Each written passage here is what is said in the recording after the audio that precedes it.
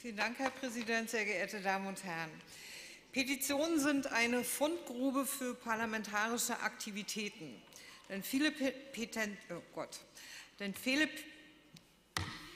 denn viele Petitionen, jetzt habe ich es, werden nicht nur geschrieben, weil viele Menschen persönlich Hilfe brauchen, sondern auch, weil etwas faul ist im Staate Berlin.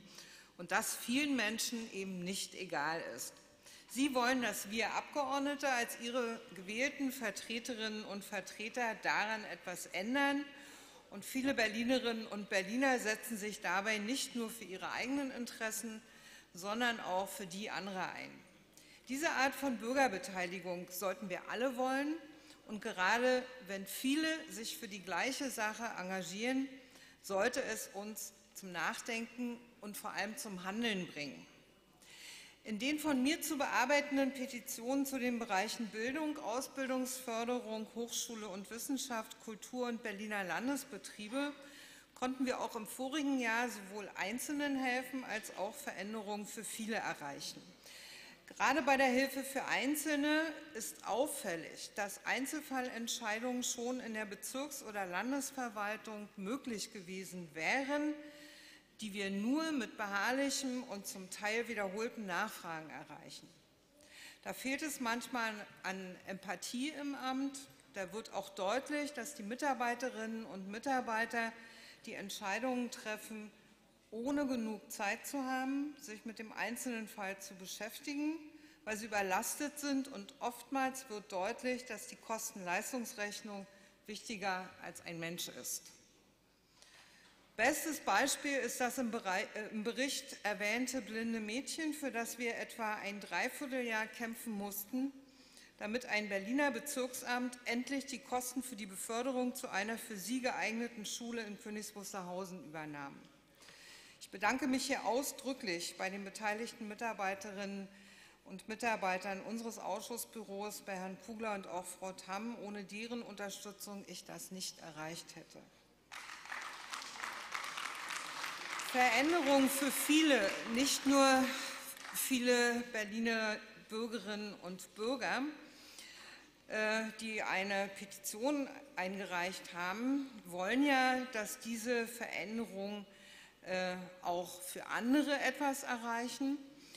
Äh, und wenn es Massenpetitionen mit vielen Unterschriften waren und auch das Thema der Petition die Stadtgesellschaft erreichte und diese sich wehrte, wenn es durch die Medien begleitet wurde und wenn wir Abgeordnete uns eben nicht mit einer Senatsstellungnahme oder eines Landesbetriebes zufrieden gaben und handelten.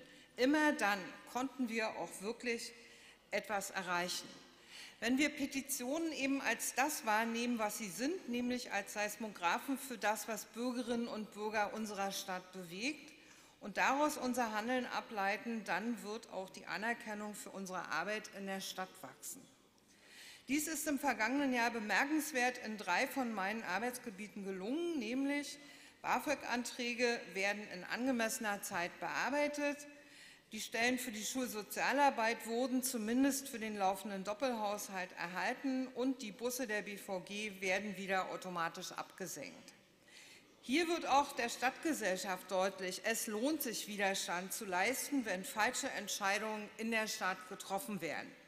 Ich möchte die Berlinerinnen und Berliner aufrufen, bleiben Sie widerständig, mischen Sie sich ein, auch mit Petitionen. Und ich hoffe, dass wir auch für die noch in der Bearbeitung befindlichen vielen Petitionen zur Planung der TVO in Biesdorf und Marzahn beispielsweise, zur Einstellung der Buslinie 325 in Reinickendorf, zum Lehramtsstudium Musik nach dem neuen Lehrkräftebildungsgesetz an der UDK äh, oder auch zum Erhalt der Homer-Grundschule als staatliche Europaschule in Pankow Lösungen für und mit den Bürgerinnen und Bürgern finden werden.